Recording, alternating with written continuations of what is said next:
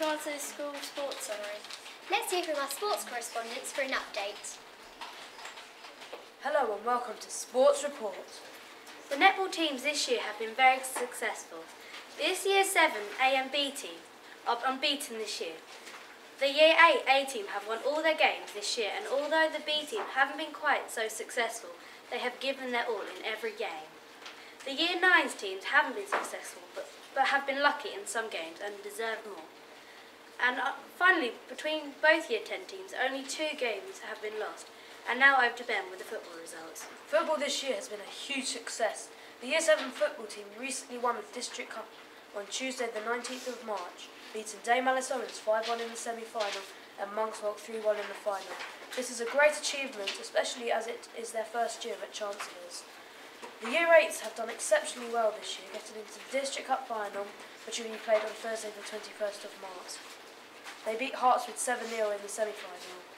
They have also reached the County Cup semi-final. This is a great achievement. They also won the District five-a-side tournament. The Year 8 team should be very proud of all their achievements. The Year 9 team have done well, as well as getting runners-up in the five-a-side district tournament. The Year 10s have done really well this year as well, but haven't been as lucky as the other years. In addition to this, the senior team have also made it to the District Cup final, so if all goes to plan, Chancellor's Trophy cabinet will soon be, soon be formed. I'm Him Shaw, Barnet Elizabethans rugby player and rugby school captain. So Sean, how are you? I'm fine, thank you, Dan.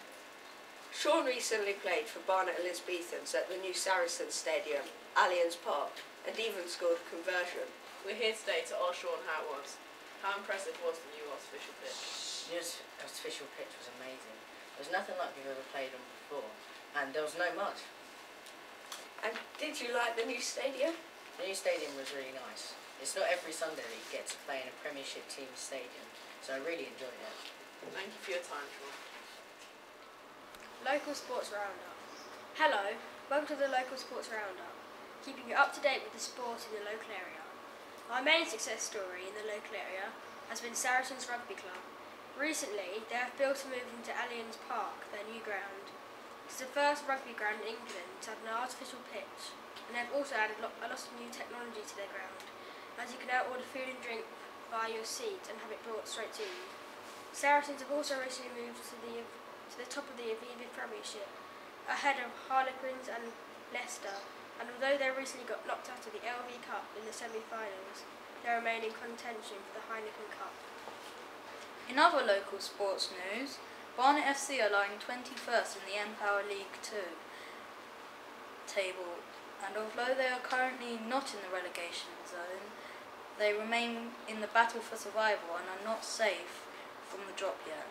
Finally, Stevenage FC, the most successful football team in the local area, is currently lying 15th in the npower League 1 table and are having a successful season by their standards and that is absolutely jam-packed with excitement.